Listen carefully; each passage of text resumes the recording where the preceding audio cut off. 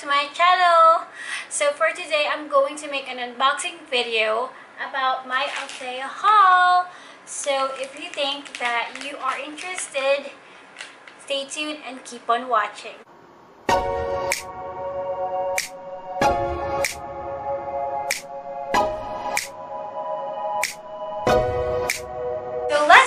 It was my birthday. So as an Althea Angel, nagkaroon ako ng points. And um, also it was Christmas time. So I also had some Christmas points in my Althea account. So I'm so glad I was able to buy a lot of things.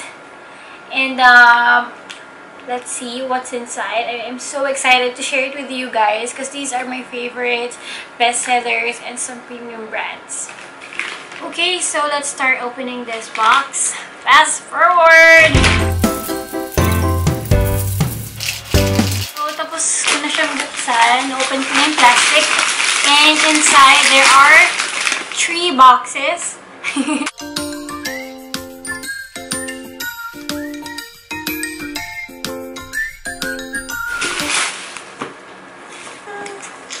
Sobrang nice ng packaging ng Altea Korea.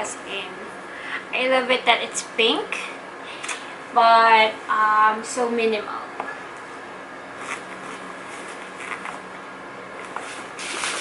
So, buksan na natin. Tada! Ito yung loob ng first box. At kita niyo naman, sobrang ingat nila. May bubble wrap each item. So, um, I'm pretty sure pretty safe lagi yung mga items na nasa loob. Hindi nasisira yung packaging niya. Which I really like. Kasi sa mga ibang um, online shops, nakakainis kasi they don't make too much effort on um, packing yung mga items. So, minsan nasisira na yung packaging. And minsan tinatago ko pa naman yung mga box. Hindi kasi akong mag-collect ng box. Ewan ko, Ewan ko ba, ano magagawin ko sa mga yun? Nasayangan lang ako, especially pag cute yung packaging. Tinatabi ko sila. So, first,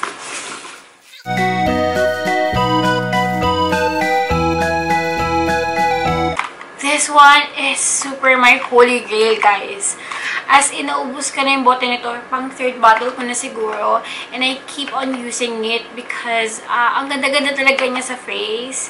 And this is uh, Misha Time Revolution, the first treatment essence, Intensive Moist. Ayan. Ang super nice and ang social ng packaging, di ba? Yan. okay. Favorite ko to kasi, um, ito yung essence na it, it hydrates my face very well. And since magka-30 na ako this year, um, it has a white, this is a box. It says that it has a wrinkle repairing and whitening cosmetic. So, ayun nga, siya yung isa sa mga holy grail ko for glass skin. Bestseller talaga siya. So, pwede siyang, alam ko may mga binibenta na parang samplers or mga trial kit. So, mas cheaper yun. Kasi yung ganito, yung one full bottle. Pakita ko sa inyo yung bottle.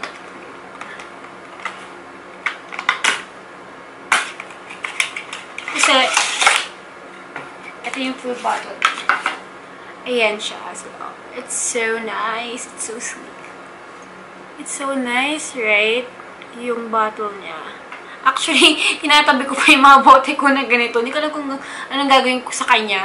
Yung mga empty bottles nito. Wala lang. Pero, uh, I think this is like 1,500 each. Pero this is super worth it. As in, um, matagal ko siya magagamit. As in months. Like, 6 to 8 months siguro or almost a year. Hindi ako sure. Pero sobrang tagal ko naggamit yung isang. Um, kukuha lang ako ng a few drops of it. Like, um, 2 drops. Enough na yun for my face. Um, and then, yun, pat-pat ko lang siya para ma-absorb siya maigi. Sobrang importante ng essence sa um, skincare routine ko. Kasi, um, it prepares your face sa mga next mo pang ilalagay. Mga moisturizer, or serum, yun. Yung essence yung isa sa mga piniprepare yung skin mo para ma-absorb niya pa yung mga nilalagay mo sa face. Yeah. And next one is the Power 10 Formula VC Effector with vitamin C, derivatives, Skin Safety Tested 10 from It's Skin. Ayan. It's kind of a serum. Ayun. Ito naman, I haven't tried this, but I have I have been seeing this for about many years now. And marami nag-rave dito. Even yung mga ibang friends ko from Facebook, ginagamit nila to. And I don't know why, but di ko pa siya binibili before because I've been trying a lot of skincare uh, items. Kaya ngayon, it's my chance to try it.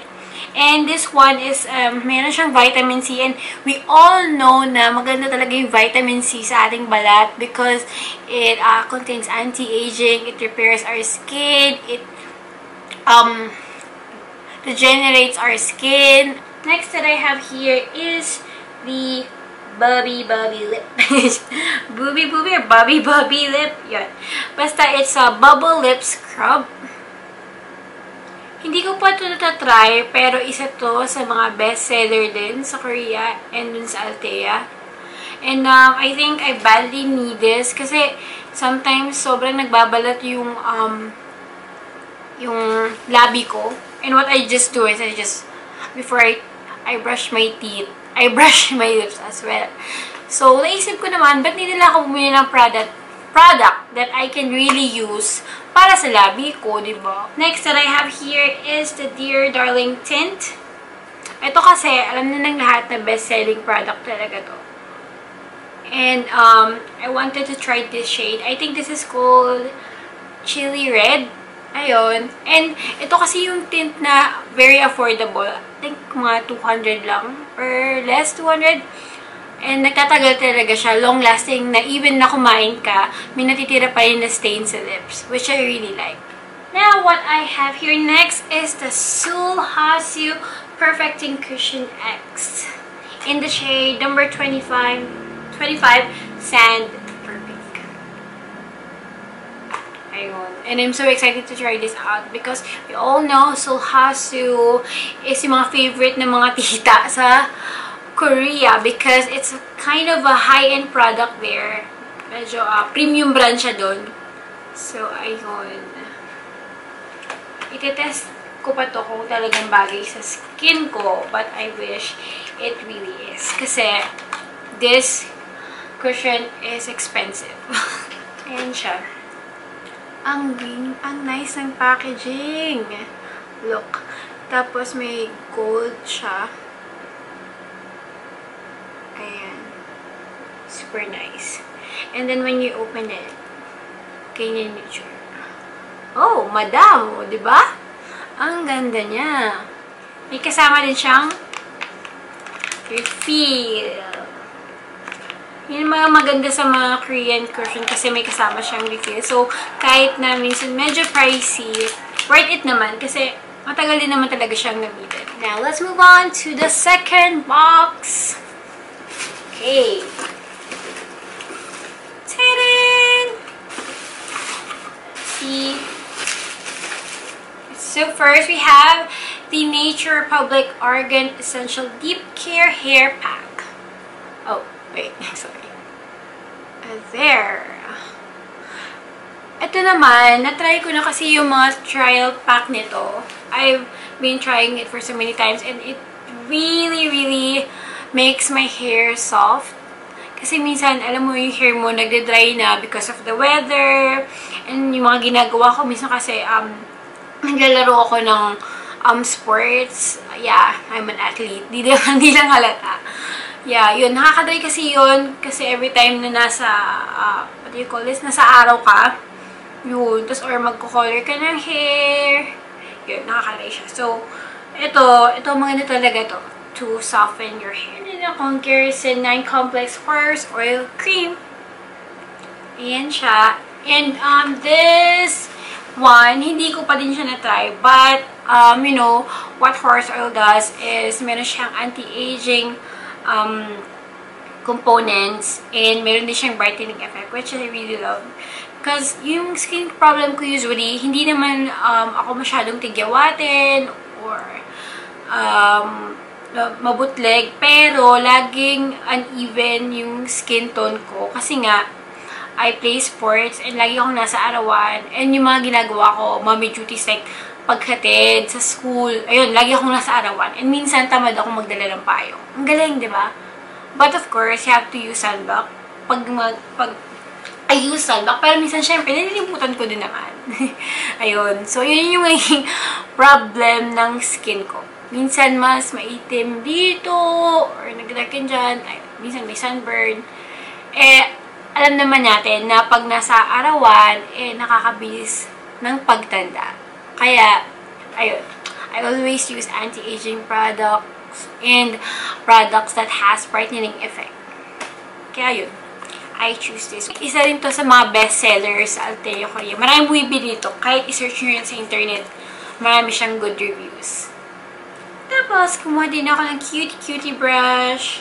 Wala lang. Cute eh. Mahilig ako sa cute. Isip bata lang. Hindi. Yun. Tsaka mahilig ako sa, ano man tawag sa mga ito, parang paddle brush. Kasi, mas madali siyang mag-detangle ng buhok. Unlike sa mga regular combs or usual brush, yun. Um, madali siyang i-brush. Tapos, madaling matanggal yung mga buhol-buhol. Yung mga ganitong klaseng brush, yung paddle brush. Ayan. Cute niya. And pwede siyang itayo actually sa table. Example, ito. Kunyari, table mo to. Tapos, pwede mo siyang itayo. Ganyan. And then, sa likod, meron ding mirror. Sobrang convenient, diba? And, cute pa. Kaya, yan, kinuha ko siya. and finally, let's go to the third box. Ito, we have the bubble maker. Wala. Kasi, curious na lang talaga ako. Kasi, parang glue pa rin naman to. Pero, I think ito yung mga klase na ilalagay mo yung soap inside. And then, makaka-create siya ng mga bubbles. Para, you know, ko mas convenient siyang gamitin since ilalagay mo yung soap sa loob. Hindi yung kagaya ng mga ibang lufa na separate pa yung soap, hawak mo and then yung lufa, gaganyan-ganyan mo pa. Yan. This is the bubble maker. I think 50 pesos lang to or best. Mura lang siya. Next, ay yun.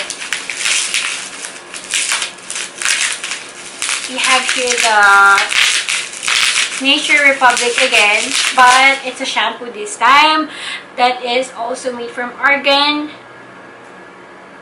oil. Ayan. Ayan siya. So, natry ko na hair pack and I'm pretty sure na maganda rin yung shampoo. I hope. Kasi nakita ko sa mga reviews, it also makes their hair soft. Kaya, ayun. I wanna try it as well. Ayan siya.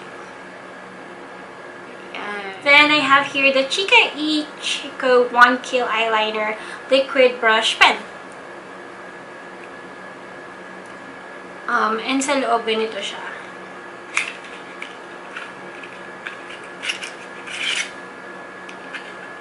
Ayan. So, why not black? Bakit brown?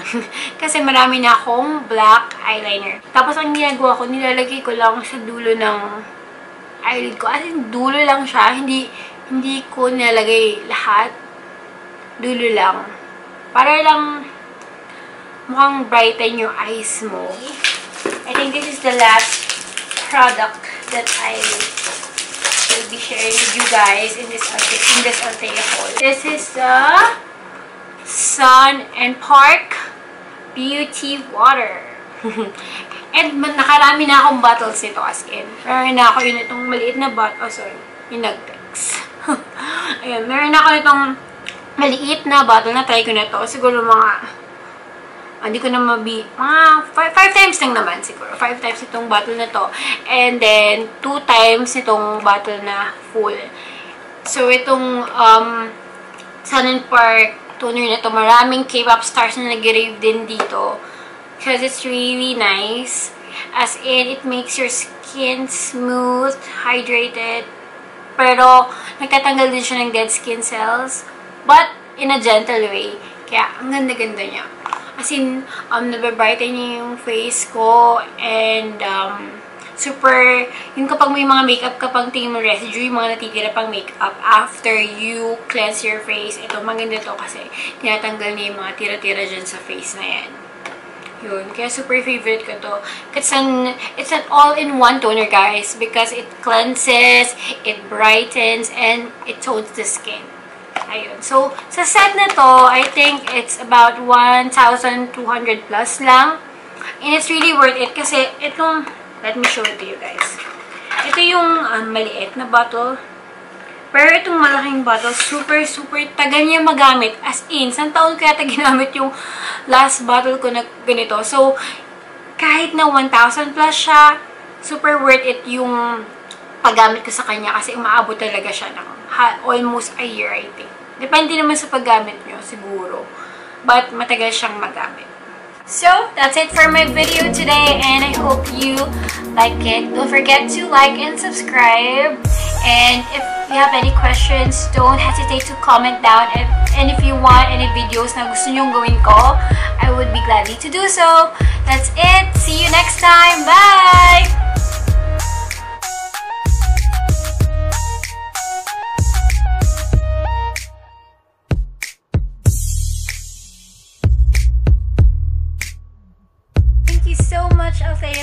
día.